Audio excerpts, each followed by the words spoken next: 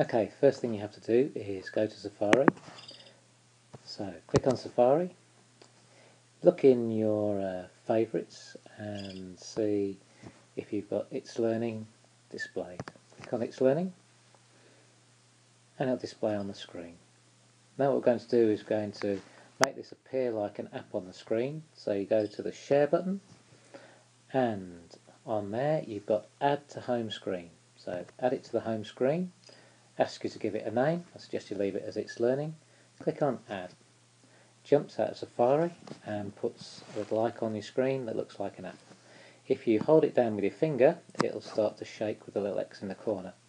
You can then drag that down onto the bar at your bottom and it will appear on all of your screens. Press the button at the side of your iPad and they'll all stop wobbling. Click through your screen and there itslearning is available all the time. Click on it and it opens straight away in your browser.